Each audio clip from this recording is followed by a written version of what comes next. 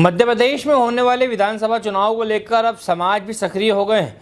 विभिन्न सामाजिक संगठन प्रदेश स्तरीय बैठक कर संख्या के आधार पर राजनीतिक हिस्सेदारियों की मांग कर रहे हैं। प्रांतीय कुशवा समाज ने भी प्रदेश कार्य समिति की बैठक बुलाकर मध्य प्रदेश के मुख्य राजनीतिक दलों से समाज में उम्मीदवारों को टिकट देने की मांग की है। प्रदेश अध्यक्ष योगेश मानसिंह कुशवाहा ने बताया कि प्रदेश कार्य समिति ने तय किया है कि विधानसभा चुनाव में बीजेपी और कांग्रेस कुशवा समाज के राजनीतिक प्रतिनिधियों को चुनाव मैदान में हिस्सेदारी देकर 25-25 विधानसभा सीटों में प्रत्याशी बनाए। साथ ही लोकसभा चुनाव में भी चार सीटों पर कुशवा समाज से प्रत्याशियों का चयन किया जाए। उन्होंने कहा कि समाज की मांग पर अगर बीजेपी कांग्रेस अमल नहीं करती है तो कुशवा समाज संपूर्ण मध्य प्रदेश में दोनों पार्टियों के खिलाफ प्रचार प्रसार करेगा। भोपाल से ताहिर खान की रिपोर्ट। सबसे पहले तो आप सभी पत्रकार बंधुओं को नमस्कार। साथियों, आज प्रांतीय कुशवा समाज की प्रदेश कार्य समिति की बैठक थी। जिसमें संपूर्ण मध्य प्रदेश से जिलाध्यक्ष, महिला जिलाध्यक्ष, युवा जिलाध्यक्ष और प्रदेश के पदाधिकारी उपस्थित हुए।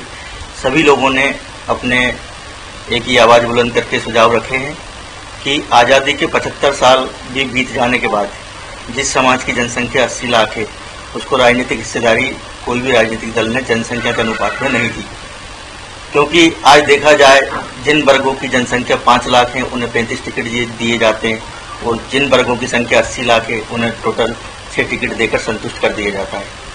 तो सारे प्रदेश के पदाधिकारियों और प्रदेश कार्य कमेटी कार्य समिति के सदस्यों द्वारा निर्णय लिया गया है कि जनसंख्या के अनुपात पे सारी राजनीतिक पार्टियों से 25-25 टिकट विधानसभा में कुशवा समाज को लिए जाएँ। और अगर राजनीतिक पार्टियाँ टिकट नहीं देती हैं तो क्रांति कुशवा समाज मध्य प्रदेश, संपूर्ण मध्य प्रदेश में 50 सीटों पर कुशवा समाज के निर्दलीय कैंडिडेट लड़ाएगा। इसमें हमारा एक नारा रहेगा, एक वोट सौ का नोट। इसमें हम लोग आपस में समाज के व्यक्तियों से चंदा मांगकर, जो बीस हज़ार से लेकर बीस हज़ार से लेकर पैंतालीस हज़ार तक आबादी कुशवा समाज की जिस विधानसभा में वो पचास सीटें तय की जाएँगी और कुशवा समाज के कैंडिडेट को चुनाव लड़ाया जाएगा।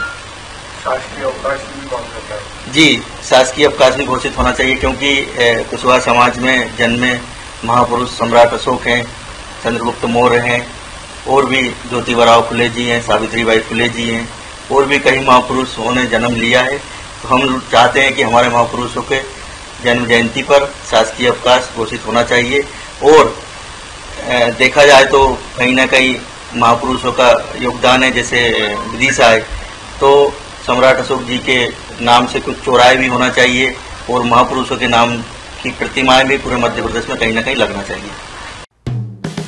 हेलो फ्रेंड्स आप देख रहे हैं हमारा channel S W twenty four news हमारे सारे वीडियो सबसे पहले देखने के लिए आप हमारे चैनल को सब्सक्राइब करें और पास में लगे बेल आइकन को दबाना बिल्कुल भी ना भूलें।